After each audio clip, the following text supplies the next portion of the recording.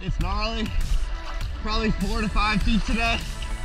Um, getting stoked. And hopefully we catch a wave. Today was so gnarly that there was like no surf because it was blowing like 40 miles an hour, like cross shore. So it was like destroying the waves and stuff. I'm really sorry, guys. Um, but it was it was fun, but no waves to catch. Um, this is all we got for video and standing out. But we got to try out the new wooden board, and there will be a video out about that soon. That was really fun. So if you guys are new, subscribe. And thanks for watching as always. And see you later.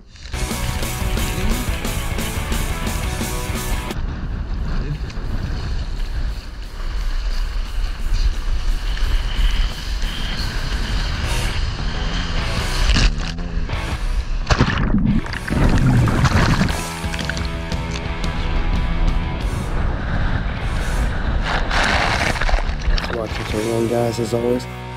We will see you next time in the next video. Thanks for watching guys and subscribe